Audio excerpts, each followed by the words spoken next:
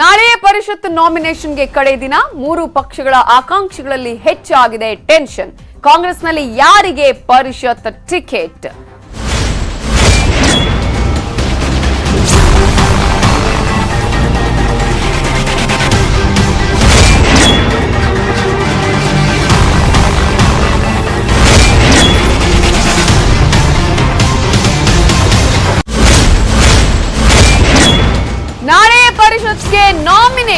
ಕಡೆಯ ದಿನ ಆಗಿದೆ. ಆದರೂ ಕೂಡ ಮೂರು ಪಕ್ಷಗಳ ಆಕಾಂಕ್ಷಿಗಳಲ್ಲಿ ಹೆಚ್ಚಾಗಿದೆ ಟೆನ್ಷನ್.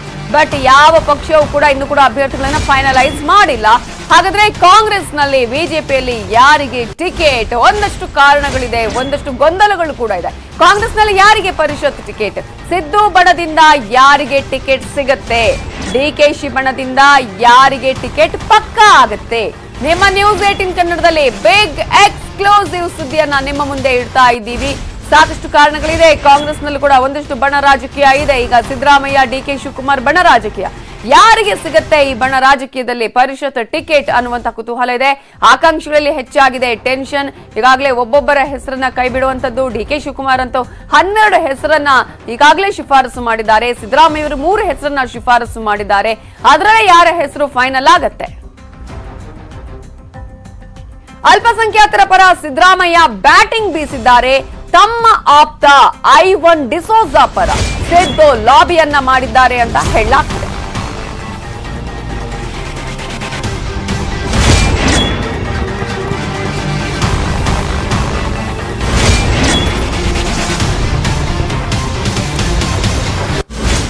ಡಿಸೋಜಾ ಜೊತೆಗೆ ಎಂಆರ್ ಸೀತಾರಾಮ್ ಎನ್ ತಿಪ್ಪಣ್ಣ ಪರ ಸಿದ್ದರಾಮಯ್ಯ ಲಾಬಿ ಮಾಡಿದ್ದಾರೆ ಅಂತ ಹೇಳಲಾಗ್ತಾ ಇದೆ. ಮೂವರ ಹೆಸರನ್ನು ಆಲ್ರೆಡಿ ಸಿದ್ದರಾಮಯ್ಯ ಅವರು ಸೂಚಿಸಿದ್ದಾರೆ. ಹೈಕಮಾಂಡ್ಗೆ ಮೂವರ ಹೆಸರು ಫೈನಲ್ ಮಾಡಲು ಒತ್ತಾಯವನ್ನ ಮಾಡಿದ್ದಾರಂತೆ. ಎನ್ ತಿಪ್ಪಣ್ಣಾಗಿ ಟಿಕೆಟ್ ಕೊಡೋದಕ್ಕೆ ಡಿ ಕೆ ಶಿವಕುಮಾರ್ ಸಮ್ಮತಿಯನ್ನ ನೀಡಿದ್ದಾರಂತೆ. ಒಟ್ಟಾರೆ ಹೈಕಮಾಂಡ್ ಮಟ್ಟದಲ್ಲಿ ನಿವೇದಿತಾ ಆಳ್ವ ಲಾಬಿಯನ್ನ ಮಾಡಿದ್ದಾರೆ ಅಂತ ಹೇಳಲಾಗ್ತಾ ಇದ್ದು, ಕ್ರಿಶ್ಚಿಯನ್ ಸಮುದಾಯದ ನಿವೇದಿತಾ ಆಳ್ವ ಮಾರ್ಗ್ರೆಟ್ ಆಳ್ವ ಅವರ ಪುತ್ರ ನಿವೇದಿತಾ, ಪುತ್ರಿ ನಿವೇದಿತಾ ಆಳ್ವ ಅವರು. ಸೊ ಈ ಹಿನ್ನೆಲೆಯಲ್ಲಿ ಸಾಕಷ್ಟು ಜನ ಆಕಾಂಕ್ಷಿಗಳಿದ್ದಾರೆ. ಎನ್ ತಿಪ್ಪಣ್ಣಗೆ ಬಹುತೇಕ ಟಿಕೆಟ್ ಪಕ್ಕ ಅಂತ ಹೇಳಲಾಗ್ತಾ ಇದ್ದು, ಬೆಳಗ್ಗೆ ಹತ್ತು ಗಂಟೆಗೆ ರಾಹುಲ್ ಗಾಂಧಿ ಸಭೆಯನ್ನ ಮಾಡಲಿದ್ದು ಕಾನ್ಫರೆನ್ಸ್ ಕಾಲ್ ಮೂಲಕ ಈ ಒಂದು ಆಯ್ಕೆಯ ಬಗ್ಗೆ ಚರ್ಚೆ ನಡೆಯುತ್ತೆ. ಹಾಗಾಗಿ ಯಾರ ಹೆಸರು ಫೈನಲ್ ಆಗುತ್ತೆ? ಹೈಕಮಾಂಡ್ ಯಾರ ಹೆಸರನ್ನ ಫೈನಲೈಸ್ ಮಾಡುತ್ತೆ? ಹಿಂದುಳಿದ ವರ್ಗಗಳಲ್ಲಿ ಎಂಆರ್ ಸೀತಾರಾಮ್ ಮತ್ತು ತಿಪ್ಪಣ್ಣ ಹೆಸರನ್ನ ಸೂಚಿಸಿದ್ದಾರೆ. ಸಿದ್ದರಾಮಯ್ಯ ಅವರು ಮಲ್ಲಿಕಾರ್ಜುನ ಖರ್ಗೆ ಬೆಂಬಲಿಗ ಮತ್ತು ಹಿಂದುಳಿದ ಗಂಗಾಮತ ಸಮುದಾಯದ ತಿಪ್ಪಣ್ಣ ಹೆಸರನ್ನ ಶಿಫಾರಸು ಮಾಡಿದ್ದಾರೆ. ಇನ್ನು ಎಂಆರ್ ಸೀತಾರಾಮ್ ಬಲಿಜ ಸಮುದಾಯದವರು Rahul Gandhi, Siddaramaiah D K Shivakumar K C Venugopal, Randeep Surjewala ನಡುವೆ ಕಾನ್ಫರೆನ್ಸ್ ಕಾಲ್ನಲ್ಲಿ ಚರ್ಚೆ ನಡೆಯೋದಿಕ್ಕಿದೆ.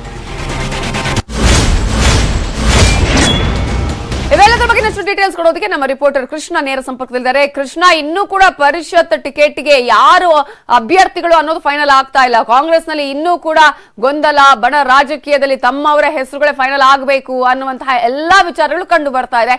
ಇವತ್ತು ಫೈನಲ್ ಆಗ್ಲೇಬೇಕು. ಎಷ್ಟು ಗಂಟೆಗೆ ಫೈನಲ್ ಆಗುವ ಚಾನ್ಸಸ್ ಇದೆ? ಯಾವ ರೀತಿ ಬಣ ರಾಜಕೀಯ ಕಾಣಿಸ್ತಾ ಇದೆ?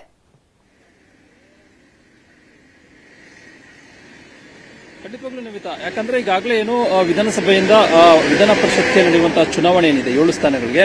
ಇಲ್ಲೋ ಒಂದ್ ಕಡೆ ಈಗಾಗಲೇ ನಾಮಪತ್ರ ಸಲ್ಲಿಕೆಗೆ ನಾಳೆಯೇ ಕಡೆಯ ದಿನ. ಆದರೂ ಕೂಡ ಇನ್ನೂ ಅಭ್ಯರ್ಥಿಗಳ ಹೆಸರು ಪ್ರಕಟವನ್ನ ಮಾಡಿಲ್ಲ. ಇಲ್ಲೋ ಒಂದ್ ಕಡೆ ಅಭ್ಯರ್ಥಿಗಳ ಹೆಸರನ್ನ ಫೈನಲ್ ಮಾಡುವಂತ ನಿಟ್ಟಿನಲ್ಲಿ ಎರಡೂ ರಾಷ್ಟ್ರೀಯ ಪಕ್ಷಗಳಿಗೂ ಕೂಡ ಒಂದು ರೀತಿ ಕಗ್ಗಂಟಾಗಿರುವಂತದ್ದು.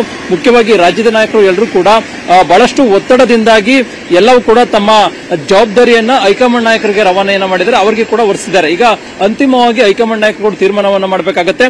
ಅದಕ್ಕೋಸ್ಕರವಾಗಿಯೇ ಇವತ್ತು ಬೆಳಿಗ್ಗೆ ಹತ್ತು ಗಂಟೆಗೆ ಏನು ಮಾಜಿ ಎಐಸಿಸಿ ಅಧ್ಯಕ್ಷರಾಗಿರ್ತಕ್ಕಂಥ ರಾಹುಲ್ ಗಾಂಧಿ ಅವರು ಇವತ್ತು ರಾಜ್ಯದ ನಾಯಕರ ಜೊತೆಗೆ ವಿಡಿಯೋ ಕಾನ್ಫರೆನ್ಸ್ ಅನ್ನು ಮಾಡೋದ್ರ. ಮೂಲಕವಾಗಿ ಯಾರು ಅಭ್ಯರ್ಥಿಗಳಿಗೆ ಸೂಕ್ತ ಅನ್ನೋದ್ರ ಬಗ್ಗೆ ಚರ್ಚೆ ಮಾಡಿ ತೀರ್ಮಾನವನ್ನ ಮಾಡಲಿದ್ದಾರೆ. ಒಂದ್ ಕಡೆ ಈಗಾಗಲೇ ರಾಜ್ಯದ ನಾಯಕರು ಡಿ ಕೆ ಶಿವಕುಮಾರ್ ಆಗಿರ್ಬೋದು ಸಿದ್ದರಾಮಯ್ಯ ನಡುವೆ ಒಂದು ರೀತಿ ಬಣದ ರಾಜಕೀಯ ಉಂಟಾಗಿದೆ. ಇಂತಹ ಸಂದರ್ಭದಲ್ಲಿ ಒಂದ್ ಕಡೆಗೆ ಮಾಜಿ ಮುಖ್ಯಮಂತ್ರಿ ಸಿದ್ದರಾಮಯ್ಯ ಅವರು ಹಿಂದುಳಿದ ವರ್ಗದವರಿಗೆ ಕೊಡಬೇಕು ಅನ್ನೋ ಒತ್ತಡವನ್ನ ರಾಜ್ಯ ಮಟ್ಟದ, ಹೈಕಮಾಂಡ್ ಮಟ್ಟದಲ್ಲಿ ಆಗ್ತಾ ಇದ್ದಾರೆ. ಮತ್ತೆ ಒಂದ್ ಕಡೆ ಡಿ ಕೆ ಶಿವಕುಮಾರ್ ಅವರು ಒಕ್ಕಲಿಗ ಅಥವಾ ಲಿಂಗಾಯಿತ ನಾಯಕರಿಗೆ ಸಮುದಾಯದ ನಾಯಕರಿಗೆ ಕೊಡಬೇಕು ಅನ್ನುವಂಥದ್ದು ಕೂಡ ಒತ್ತಡವನ್ನ ಹಾಕ್ತಿದ್ದಾರೆ. ಹೀಗಾಗಿ ಎರಡೂ ಒತ್ತಡದಿಂದಾಗಿ ಇಲ್ಲ ಒಂದ್ ಕಡೆ ನ ನಾಯಕರು ಬಹಳಷ್ಟು ಒತ್ತಡದಲ್ಲಿದ್ದಾರೆ.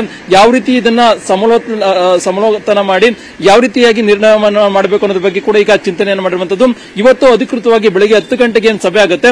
ಅಂತಹ ಸಂದರ್ಭದಲ್ಲಿ ಅಧಿಕೃತವಾಗಿ ಚರ್ಚೆ ಮಾಡಿ ಅಂತಿಮವಾದಂತಹ ಹೆಸರುಗಳನ್ನ ಎರಡು ಸ್ಥಾನಕ್ಕೆ ಏನು ಕಾಂಗ್ರೆಸ್ ಕೊಟ್ಟಿದೆ. ಅದಕ್ಕೆ ಅಭ್ಯರ್ಥಿಗಳ ಹೆಸರು ಫೈನಲ್ ಆಗುತ್ತೆ. ಇನ್ನು ಮತ್ತೊಂದು ಕಡೆ ಈಗಾಗಲೇ ಬಿಜೆಪಿಗೂ ಕೂಡ ಒಂದು ರೀತಿ ತಲೆಬಿಸಿಯಾಗಿದೆ. ಇನ್ನೂ ಕೂಡ ಅಭ್ಯರ್ಥಿಗಳ ಹೆಸರು ಫೈನಲ್ ಆಗಿಲ್ಲ. ಇಲ್ಲ ಒಂದ್ ಕಡೆ ಈಗಾಗಲೇ ಬರೀ ನಾಲ್ಕು ಸ್ಥಾನಗಳಿಗೆ ಸುಮಾರು ಇಪ್ಪತ್ತು ಹೆಸರುಗಳನ್ನ ರಾಜ್ಯದ ನಾಯಕರುಗಳು ಹೈಕಮಾಂಡ್ ನಾಯಕರುಗಳಿಗೆ ಶಿಫಾರಸನ್ನ ಮಾಡಿದ್ದಾರೆ. ಅವರು ಕೂಡ ಈಗಾಗಲೇ ಮುಖ್ಯಮಂತ್ರಿ ಬಸವರಾಜ ಬೊಮ್ಮಾಯಿ ಅವರನ್ನ ಮೊನ್ನೆ ದಿನ ಕರೆಸಿಕೊಂಡು ಅಲ್ಲಿ ವರಿಷ್ಠರು ಕೂಡ ಚರ್ಚೆಯನ್ನ ಮಾಡಿ ಮಾತಾಡ್ತೀನಿ ಇದರ ಬಗ್ಗೆ.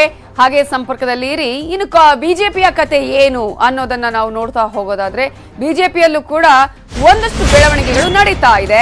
ಟಿಕೆಟ್ ಆಕಾಂಕ್ಷಿಗಳಿಗೆ ಟೆನ್ಷನ್ ಆರಂಭ ಆಗಿದೆ.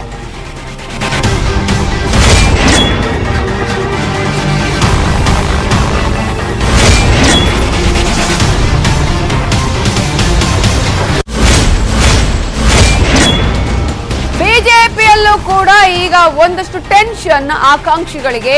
ಬಿಎಸ್ವೈ ಪುತ್ರ ವಿಜೇಂದ್ರಗೆ ಟಿಕೆಟ್ ಸಿಗತ್ತಾ? ಬಿಎಸ್ವೈ ಹಾಗೂ ವಿಜೇಂದ್ರಗೆ ಈಗ ಟೆನ್ಷನ್ ಆರಂಭ ಆಗಿದೆ. ಯಾಕಂದ್ರೆ ಹೈಕಮಾಂಡ್ ಮೇಲೆನೆ ಈಗ ಭಾರ ಹಾಕಿ ಕುಳಿತಿದ್ದಾರೆ ಬಿ ಎಸ್ ಯಡಿಯೂರಪ್ಪ ಅವರು. ಒಂದ, ಒಂದು ಬಣ ವಿಜೇಂದ್ರ ಅವರಿಗೆ ಟಿಕೆಟ್ ಕೊಡಬಾರದು ಅನ್ನುವಂತಹ ನಿಟ್ಟಿನಲ್ಲಿ ವಿರೋಧವನ್ನ ವ್ಯಕ್ತಪಡಿಸ್ತಾ ಇದೆ. ಜೊತೆಗೆ ಅನೇಕ ಕಾರಣಗಳು ಕೂಡ ಇದೆ. ಅದರಲ್ಲಿ ಪ್ರಮುಖವಾಗಿ ವಂಶ ರಾಜಕಾರಣದ ವಿಚಾರ ಕೂಡ ಕಂಡು ಬರ್ತಾ ಇದೆ. ಇನ್ನೊಂದು ಕಡೆ ನಾಯಕರಾಗಿ ಪ್ರಬಲವಾಗಿ ಬೆಳೆಯುವಂತಹ ಚಾನ್ಸಸ್ ಇದೆ. ಮತ್ತೊಂದು ಕಡೆಯಲ್ಲಿ ಈಗಾಗಲೇ ಪವರ್ ಸೆಂಟರ್ ಆಗುವ ಚಾನ್ಸಸ್. ಈಗ ಅನೇಕ ಕಾರಣಗಳು ಕೂಡ ಇದೆ. ಏನು ಮಹೇಶ್ ತೆಂಗಿನಕಾಯಿ ಸಿದ್ದರಾಜು ಹೆಸರು ಕೂಡ ಪ್ರಸ್ತಾಪ ಆಗಿದೆ. ಹದಿನೈದು ಹೆಸರನ್ನ ಶಿಫಾರಸು ಮಾಡಿದೆ. ರಾಜ್ಯ ಕೋರ್ ಕಮಿಟಿ ಈಗಾಗಲೇ ಈ ಒಂದು ಸ್ಥಾನಕ್ಕೆ ಎರಡು ಸ್ಥಾನಕ್ಕಾಗಿ. ಹಾಗಾದ್ರೆ ಯಾಕೆ ಅಷ್ಟೊಂದು ಹೆಸರನ್ನ ಶಿಫಾರಸು ಮಾಡಲಾಗಿದೆ? ಇದರ ಬಗ್ಗೆ ಡೀಟೇಲ್ಸ್ ಕೊಡೋದಕ್ಕೆ ಕೃಷ್ಣ ಈಗ ಮತ್ತೆ ನೇರ ಸಂಪರ್ಕದಲ್ಲಿ ಕೃಷ್ಣ, ಈಗಾಗಲೇ ಬಿಜೆಪಿಯಲ್ಲೂ ಕೂಡ ಈ ರೀತಿಯಾದಂತಹದ್ದೇ ಗೊಂದಲ ಅಂತ ಹೇಳಿ ನಾವು ಮಾತನಾಡ್ತಾ ಇದ್ವಿ. ಪ್ರಮುಖವಾಗಿ ಈಗಾಗಲೇ ರಾಜ್ಯ ಬಿಜೆಪಿಲಿ ಒಂದು ಹೆಸರು ಶಿಫಾರಸು ಮಾಡುವ ಬದಲು ಹದಿನೈದು ಹೆಸರು ಶಿಫಾರಸು ಆಗಿದೆ ಅಂತ ಹೇಳಿ. ಹಾಗಾದ್ರೆ ವಿಜೇಂದ್ರ ಅವರಿಗೂ ಕೂಡ ಟಿಕೆಟ್ ಕೊಡೋದ್ರಲ್ಲಿ ಡೌಟಾ ಹೇಗೆ ಅಂತ ಹೇಳಿ ಯಾರ ಹೆಸರು ಫೈನಲ್ ಆಗಬಹುದು?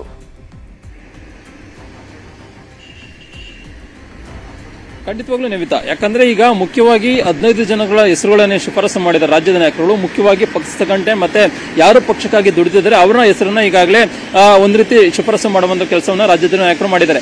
ಆದ್ರೆ ಅಂತಿಮವಾಗಿ ಹೈಕಮಾಂಡ್ ನಾಯಕರು ಯಾವ ರೀತಿಯಿಂದ ತೀರ್ಮಾನವನ್ನ ಮಾಡ್ತಾರೆ ಅನ್ನೋದು ಈಗ ಸಾಕಷ್ಟು ಕುತೂಹಲ ಮೂಡಿಸಿದೆ.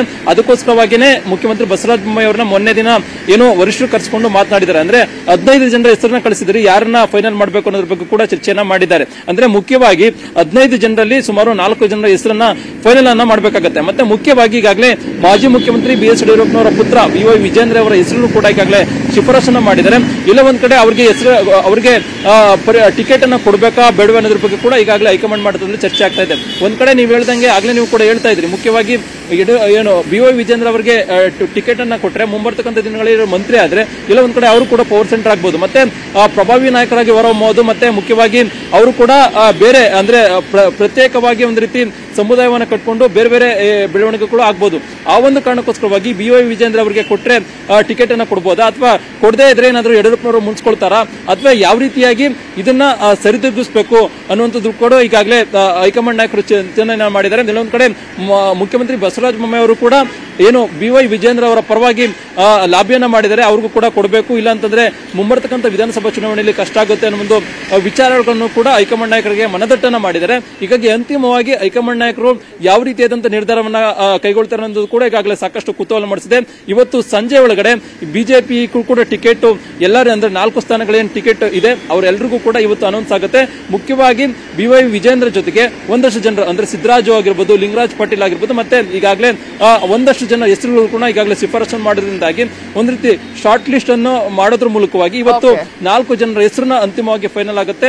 ಇವತ್ತೇ ಹೆಸರು ಫೈನಲ್ ಆಗೋದ್ರ ಮೂಲಕವಾಗಿ ನಾಳೆ ಏನು ನಾಮಪತ್ರ ಸಲ್ಲಿಕೆಗೆ ಕೂಡ ಅಭ್ಯರ್ಥಿಗಳು ಮುಂದಾಗಲಿದ್ದಾರೆ.